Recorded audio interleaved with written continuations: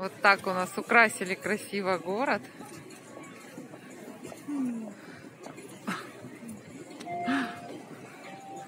Это у нас Карла Маркса, да, улица? Да, Карла Маркса. Так вот очень красиво. Все переливается. И Женечка передает привет. Ручкой помаши. Снега только не хватает, правда? Очень. Ну ничего, будем без снега радоваться. Потом, когда выпадет снег, обязательно снимемся со снегом.